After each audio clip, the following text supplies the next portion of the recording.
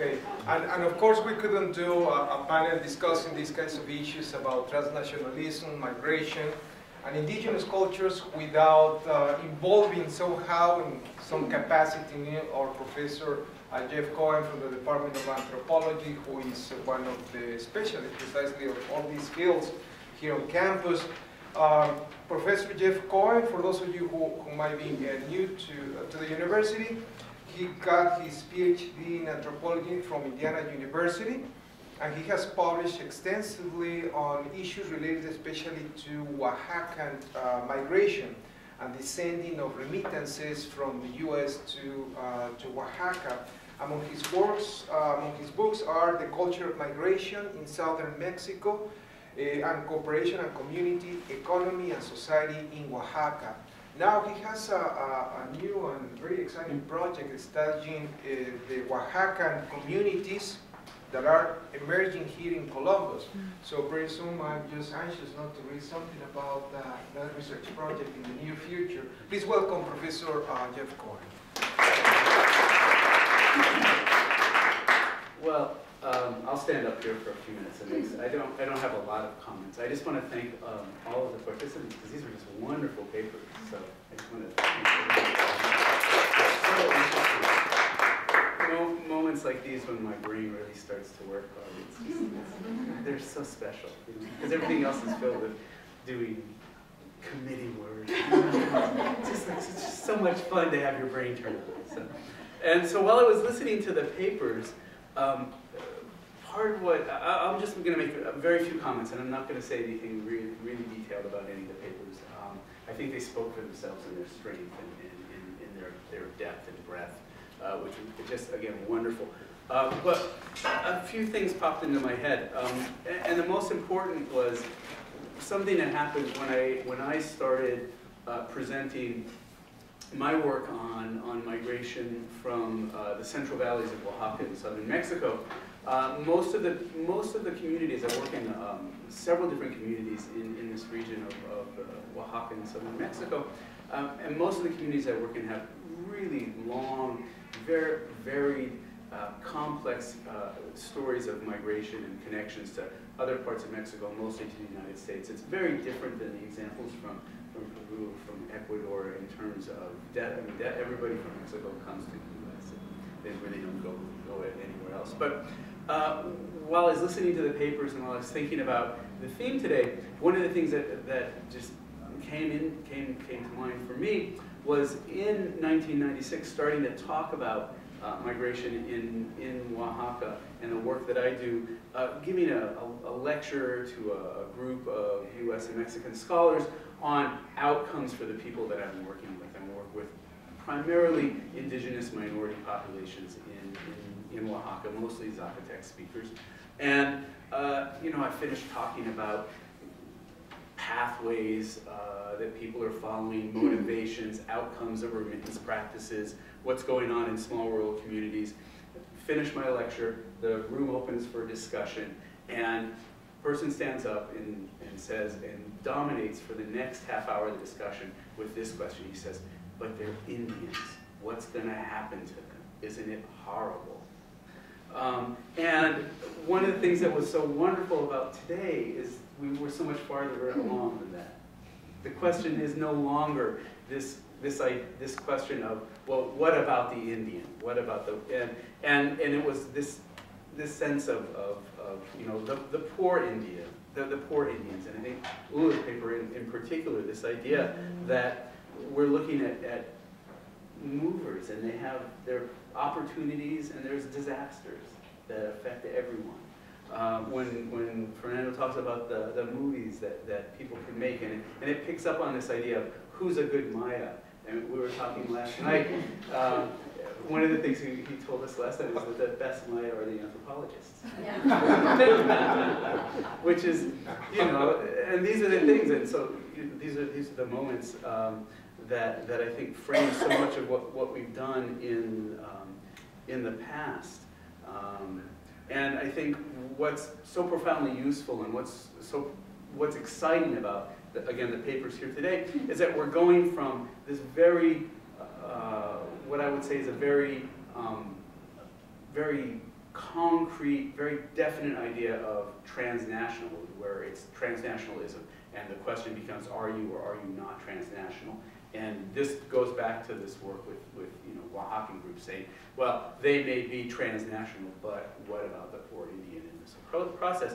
To what I, I think, if I'm hearing this all, all right and thinking about it correctly, is this idea of transnationalism as an emergent formation that people are playing around with and that has positives and negatives and we're not going to, we're, we're not our job isn't to say that this is good or this is bad or this is or is not transnational, but rather to say that, that these transnational formations are emergent from many different, uh, different kinds of um, uh, confrontations, if you will, that are occurring. And the confrontations, um, one of the points that Michelle made, the confrontation is not between the population, the Otavaleños, and the outside, the outsider, whoever that might be, the US, the, the European, but in fact it can be within the community. And so not only is it an emergent sense of, trans, of the transnational and of transnational formations, but it's also an emergent sense that is framed by an idea of the individual as a social actor. And, and so it really, it's, it's just wonderful how far this has pushed from the very, the very kinds of early um, studies of transnationalism that um, really frame things to ask, are, are you, are you not, and then what are the, you know, and assuming that there must be negatives. Um, so that's, that's actually, I think the most important, one of the, for me at least, one of the most important pieces that comes out of, of the papers that we heard. Um, the other thing though that I do want to note is this idea of cosmopolitanism, because uh, just as our very idea of what transnational is changes and the way that we approach it changes, uh, going from this concrete thing to this emergent sort of, this emergent formation that gets used in lots of different ways. Um, I think, Uli, you were talking about how uh, there's this idea that Indians aren't cosmopolitan. And, and that, and, and in a sense, it, it, it almost slices off a kind of uh, possibilities for, for the populations that we're going to talk about by saying, oh, they can't be they're, because they're Indian. And maybe that, in fact, influences the statement of, well, what about the Indian on all of this, right? Because obviously they can't be cosmopolitan. Well, uh, one of the things that happens there is, in, in fact, it, it begins to really alienate us from, or alienate our ability to talk about, I think, the imaginative ways, uh, imaginative possibilities that exist for these for the populations. And, and I don't just mean Otavalo, Otavaleños in Otavalo or somewhere else, or you know, uh, Peruvians in Peru, or Mexicans and Yucatecans and wherever they are, but you know, this is like Oaxacans in Oaxaca, in California, in Columbus, Ohio. There's a huge community here, not a huge community, but a community here. Uh, so it's, it's all the ways in which um, that, that imagination or that imaginative, um, create, creative, future possibility of, of what might happen uh, is, in a sense, we say, oh, it, it, can't happen because these people are not, in fact, cosmopolitan. Um, and, and so just so many things kind of um, uh, filled my head around this um, as I was, I, was, I was listening to everyone talk. Um, but so those are the, the kinds of things that I think are, are just so important. Um, this idea of an emergent kind of transnationalism, a trans, uh, an, idea that really begins to embrace uh, individuals as social actors who are producing that transnational, uh, those transnational formations in their, in their very lives, and that it's not closed in terms of, of some sort of anthropological attitude of, or cultural attitude of, these are Indians, these are not. Um, and then that concern with, are you, uh, are you, in a sense, becoming the migrant, becoming the transnational, uh, whether it's through music or film or uh, mobility, but forsaking your past. And what all these examples show us is that you do, you, that's not the choice. The choice is not to pick one, forsake the other, but in fact how to pull them together in these kinds of creative ways. And people are doing this um, in, uh, in everyday, in everyday ways. Um, for me, one of the most interesting was my, my student Bernardo, who followed this in terms of basketball. Uh, you know, and so we don't think of them necessarily even as, as, uh, the, you know, it's music, it's museums, it's, uh, it's dress, it's language, it's sport, it's, it's all of these things together. So anyway, so I just want to thank all the three of you again for wonderful, wonderful papers. Um, I think we have good time, good amount of time for questions.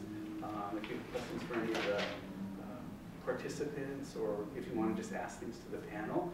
And um, I, I don't think we need like a, I don't think I need to direct questions or anything, but if you'd like, I can do that. Certainly as a professor, I know how to do that. Uh, I agree that it is really wonderful at this time of semester to be have our head taken away from our own departmental politics or whatever it is. So I thank you all. but I'm wondering if we're seeing maybe two ideal types of cosmopolitanism here, or whether they turn into the same thing if we look at them more closely. Um, so I'm thinking about Otavalan exceptionalism.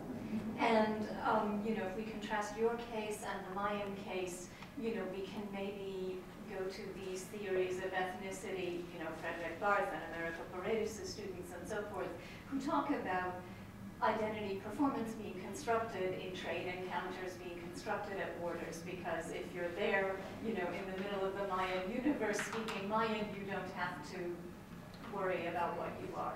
It's not necessary for you to give yourself a label.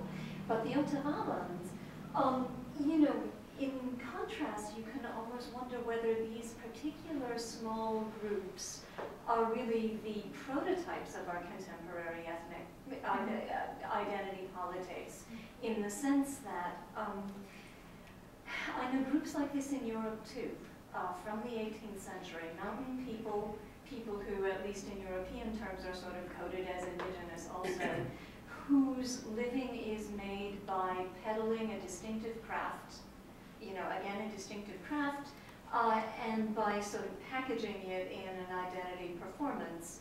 And as, um, you know, as in your case, but in contrast to the, to the Peruvian case, um, the, the, the destination just has to be where there's a certain um, cosmopolitan xenophilia. People are interested in strange kinds of music, or people are interested in, you know, interest in goods that they haven't got.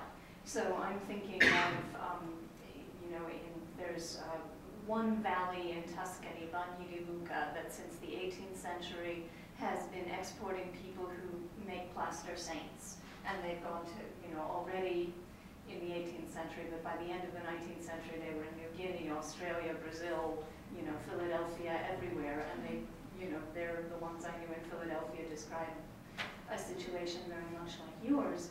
Um, on the other hand, on the other hand, um, you know, the Peruvian situation seems more typical in the sense that you have a particular political economy that brings certain kinds of people there when certain kinds of opportunities open up, and by the same token, it sends them out through certain kinds of relationships into labor networks that don't have to do with their particular identities. They're doing work that is not marked. It's not performative. So this is the special case, you know, mm-hmm. these groups who go and perform as indigenous and sell something that is marked with identity. It's the special case, but in a way it's the model that bigger places now emulate, you know, that now the Mayans looking to tourism or whatever you know, now we're all becoming little indigenous groups in relation to some something up there. So I wonder, I wonder if this um, interest in Native American paraphernalia has yeah. something to do with this, you know, it's creating that, that type of aura. One thing that I would say is that um, Otavalans don't go where people have an interest in the exotic or the novelty or things. They actually create desire.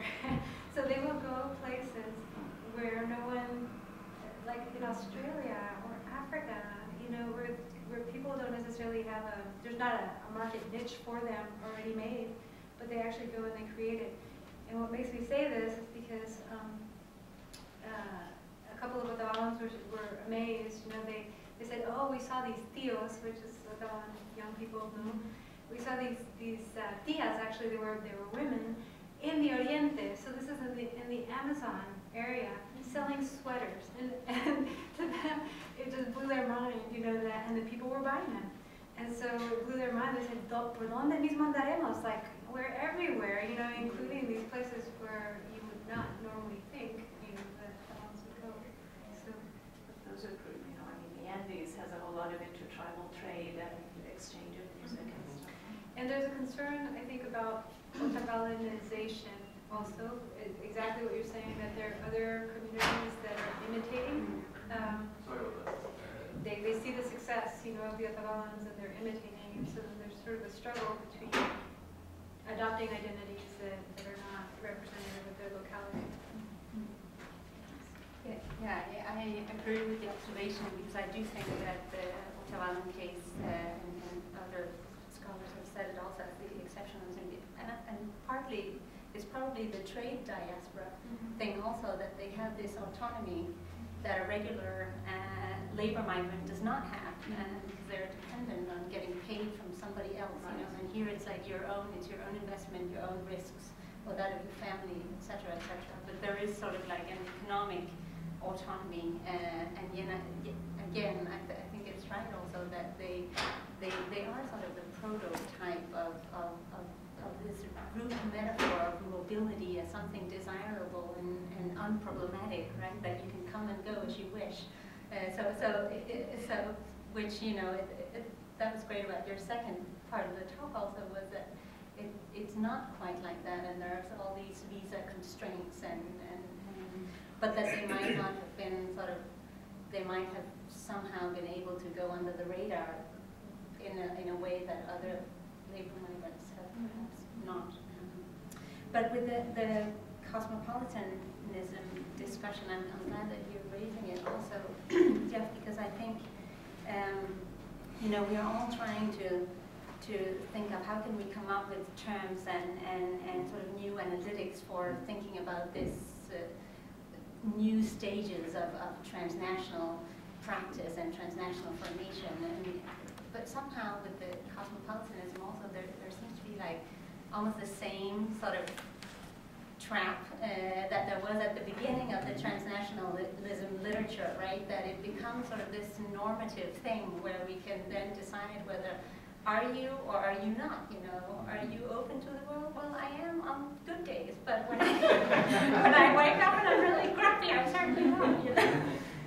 So, so, so how can we use it as a sort of more flexible? And I think for me in my in my own work, and I don't know if this is a solution, uh, but but focusing on it as a sort of a practice, right? Uh, uh, almost a competency uh, that people try to emulate. I mean, it, it, uh, some sort of ideal. You know, a lot of the, the migrants that I've worked with, they know that in order to uh, perform well in this at this visa interview, and it will increase the chances of some, you know, U.S. government official at the embassy in Lima to actually grant them the visa, is that they that they feel convincing about their urban uh, and their cosmopolitan competence, right? So it is about sort of this ease of being able to transit and not being outed, you know, as a sort of an ex-rural subject, but be able to transit with ease in these sort of more elite urban urban spaces. So I think the sort of whole embodied aspect uh, of this is is uh, is really important to it.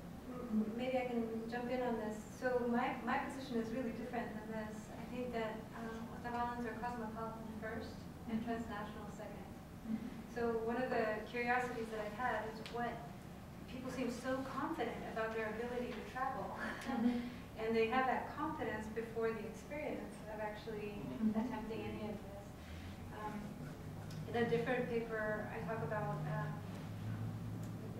it's Nyambaya Chaikuna, so our deep knowledge of the past and all of its dimensions, and connect it, you know, to some of these um, experiences and the transnational experiences. Now, so there's something enduring in terms of the values, in terms of uh, the idea of distant knowledge, you know, and having access to distant knowledge, even when we think about the shaman networks, um, and how their power depends on that ability to integrate distant knowledge into knowledge base. you. So, um, so yes, I wonder where that leaves me. It's something that I've that I've struggled with, but I think that it, the, the confidence about it is so Yeah. strong Yeah. that it really compels us to think Yeah. about beyond the experience, beyond exposure to tourism, beyond media, you know, this comes from something much Yeah. more deep, deep rooted in indigenous culture. Yes, I, I, I, I am familiar with both study cases with Otavalans and with the Huancaínos, no? And I know this reviewing the bibliography, that, uh, in those, in, and I noticed that in those uh, two study, study cases, no, there was, you can trace historically. The, the Otava- Otavalans and the Huancaínos. Uh, there is some moment in history that they were cosmopolitan against themselves Against and themselves. But be- because they have to, they had to live for many reasons. They had to live the, the, the, the place. But later, the cosmopolitanism in, in easy terms, no? Be, uh, became culture. And they want to live. Because in the Otavalan, I read some ethnographies in the Otavalan case and also in the Huancaíno or other Quechua regions, that uh, they have to live, for example, before marrying. That this is a new requirement to, to marry. the, especially the, the, the, the men or the males of this of those community, they have to show mm, some cosmopolitan or transnational experience in order to be um, accepted. They, they become sexier if they that. okay, and, and, and there are lots of lots of ethnographies, lots of things. So that's cosmopolitanism becomes culture, and now they don't need to live anymore. Many Otavalans are are rich. The same thing. Many Huancaínos are very rich. There is like a new indigenous bourgeoisies in both places, but they they have to live at the same time. Everyone wants to live. For example, the case of young Otabalas or young Huancaínos, they have to go somewhere in order to come back, and not necessarily for looking for money, because that's the the, the experience, the act. No? And I would like to ask if you have explored no, those those issues, because I am using those two categories no, for my next book, okay? I, am working with, with music, fusion music, and, and in one part of my argument is, is, is this, no? Well, uh, a couple of thoughts. Um, uh, maybe it's not about the cosmopolitanism, although I think that that has uh, definitely has status, and depending on where you travel, Mhm. it may have more status less status. No, but I also see it as an extension of the compadre networks. So it's about networks. No, the same, the same reason, the same thing that made uh, Otavalan sexy, you know, and marriageable back in the day in terms of their connections, you know, uh, with family members and fictive kin, I think operates today at a global level. Um, w- one of the things that I was thinking, uh, and, and that's something that I try to, to highlight also in my other work, is that around this whole issue of cosmopolitan competency and all this stuff. And I mean, you can claim, you can claim to be it, right? Uh, you can claim whatever you want, but that doesn't necessarily mean that other people are going to grant you uh, the, you know, the authority to claim. Uh, um, and I think in, in Peru, still, uh, perhaps not so much con los huancaínos, but definitely with uh, people from other uh, regions. So, you know, even if you claim to be, you know, outworldly, etc., there's still uh, sort of a policing of the boundaries of who can be cosmopolitan uh, and who can be transnational. So there's a very strong uh, sort of feeling still among elites old money elites uh, in Lima who are, who are still, you know, uh, trying to sort of protect their turf, right? Uh, and uh, you know, I- I've just constantly come across this this this sort of resistance to the mobility of the Andean other, right? Uh, where you know it becomes, y este cholo que se cree, ¿no? Porque tiene plata. So it's like you can go out and you can, you can make money, but that doesn't give you access to that sort of old elite social spaces that, that before was the currency of, of, of, uh, of social and cultural capital. And I, I think that's, that's something really important. Then for the Huancaínos in particular, I think there's something, I mean, there has been opportunities for them under neoliberalism uh, because it, it's they somehow thrived under this neoliberal entrepreneurship. So so now there's this fascination with the with the you know el cholo emprendedor, no? uh, because in in essence el cholo emprendedor is the the ideal neoliberal subject, right? The the sort of self-regulating uh, business, small business owner, etc. Um, and one of the, uh, I'm starting up a, a, new project that I'm going to do a little bit of field work for this summer, and it's about um, what happens to the, this new uh, uh, clase emergente, uh, not the same as the clase emergente like in the 70s with the first round of migrations, but, but uh, you know, uh, people from, who, are, now third or more generation of, of Andean descent in the city but we're still not somehow breaking into the dominant uh, circle, right? And, and, you also know it's a, a, topic that I'm exploring in a, in a film, so mm-hmm. through this one poet who, who exemplifies this, uh, this dilemma. Uh, so, so there's so this project, I'm trying to focus on schools and the investments uh, in schools. It, it, it's almost as if it were like escuelas, pero para cholos con plata, ¿no? Escuelas privadas para cholos con plata.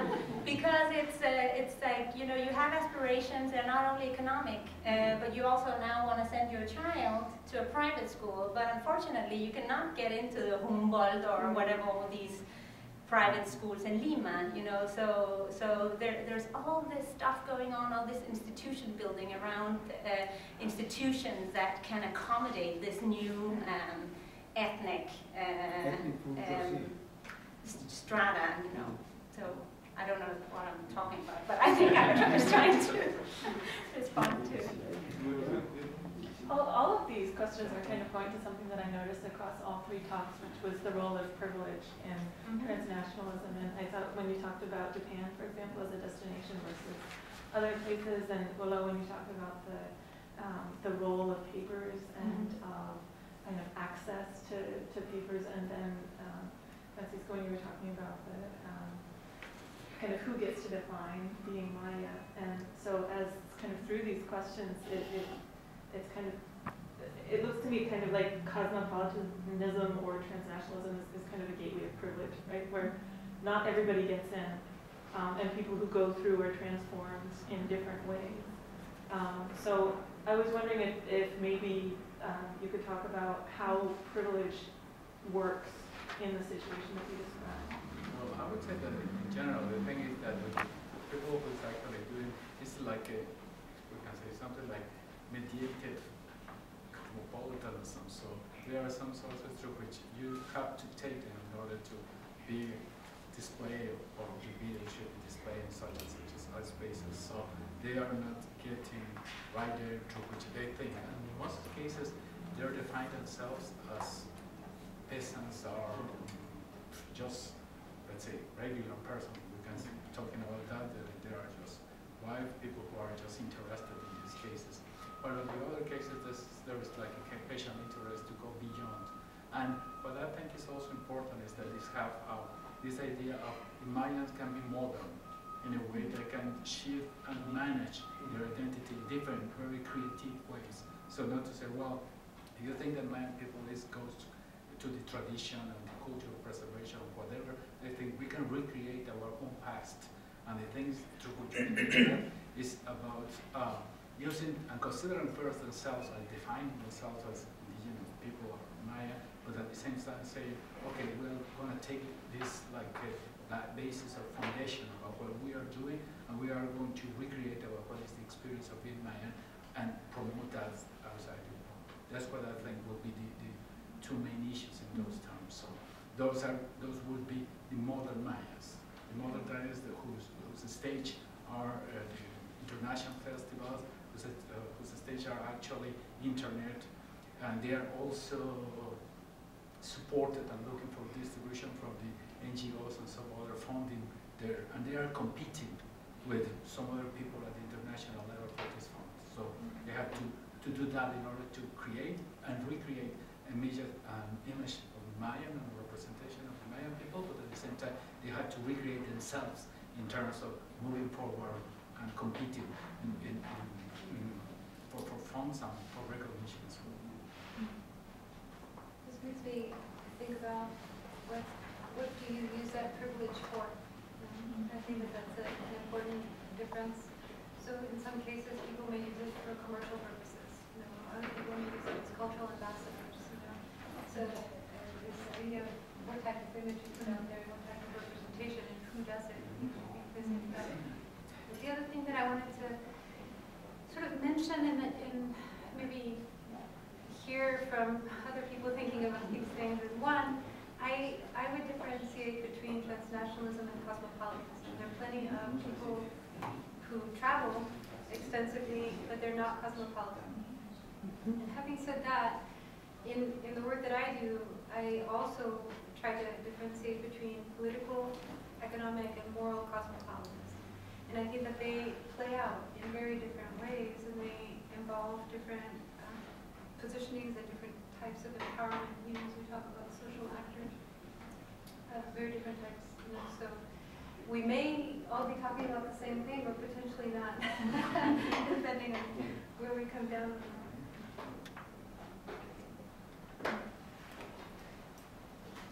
Just one, I, I, I love how you phrase it as, as cosmopolitanism as a gateway to privilege, or as something that people can mobilize, right, in order to try to, uh, you know, get to migrate, if that is the goal, or, or, um, or whatever the goal is. I think it is, though, important uh, you know, even as we are focusing on, on social actors and, and, and, and on agencies, I'm, I'm still that much of a structuralist that I want to keep the, keep the, the, the, the, the racialization processes and all of these things in check that does put limits onto the claims that people can make uh, uh, for their own lives, right, and for their own identities. And I think in, in, in the Peruvian case, at least, you know, what I've seen in my fieldwork is that, you know, the, the sort of cosmopolitan competence becomes a strategy against racism in Peru also. But at the same time, you also desire that national belonging, but it's like you have to go abroad and revindicate yourself and, and, in all sorts of ways in order to be able to come back and, and claim it, right? Uh, so, yeah, the gateway thing, I, I, I like that a lot. Thanks. Well, I I think we have to stop it. I want to thank everyone.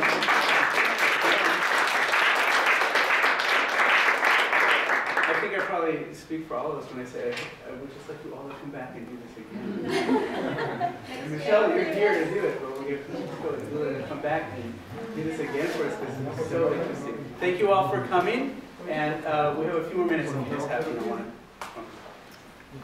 so much. Yeah.